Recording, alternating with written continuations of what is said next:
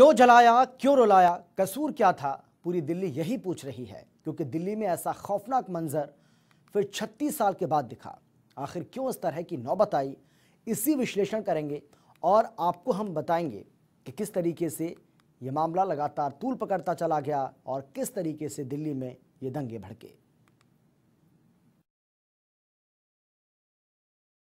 इस वक्त हम मौजपुर में मौजूद हैं। ये वही इलाका है जहाँ पर अब से कुछ दिन पहले तक बहुत भारी तादाद में हिंसा हुई है।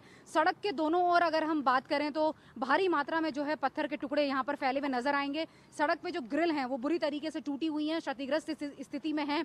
यहाँ पर जो तनाव हुआ था, उसी तनाव में जो डीसीपी था दिल्ली पुलिस का, उसकी मौत हुई है और यहाँ पर गोली चलने की भी घटना हुई थी और हिंसा का जो सबसे बड़ा केंद्र अगर हम कहें इस पूरे पूर्वी दिल्ली में तो मौजपुर का इलाका जो है ये इलाका कहा जा सकता है। इसके एक और जो है वो मुस्लिम आबादी है करदमपुरा में और दूसरी तरफ़ जो विजय पार्क है, वहाँ पर हिंदू आबादी है। यहाँ पर जो हिंसा भड़क रही है, उसमें एक पक्ष जो है वो सी कानून के विरोध में है और दूसरा पक्ष जो है वो सी कानून के पक्ष में है।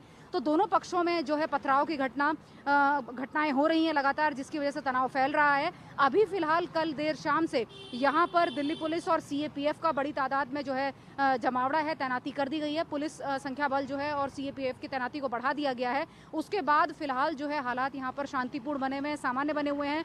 अगर हम घरों की और दुकानों की बात करें, इस इलाके के पूरी तरीके से टफ ठप हैं, पूरी तरीके से बंद है यहाँ पर। ना कोई घर है, ना ही आपको आसपास कोई लोग दिखाई देंगे, क्योंकि धारा एक पुलिस ने यहाँ पर लगाई है एहतियात के तौर पर।